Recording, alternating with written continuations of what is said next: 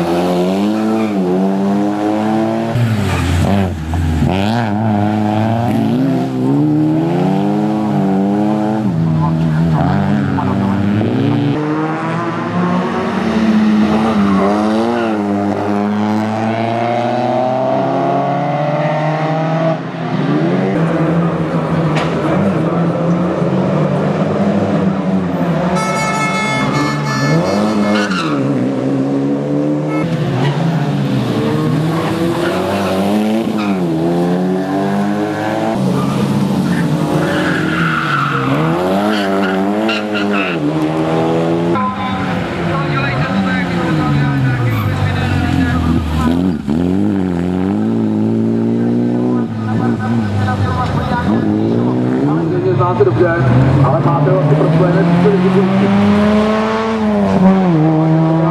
Sedlo.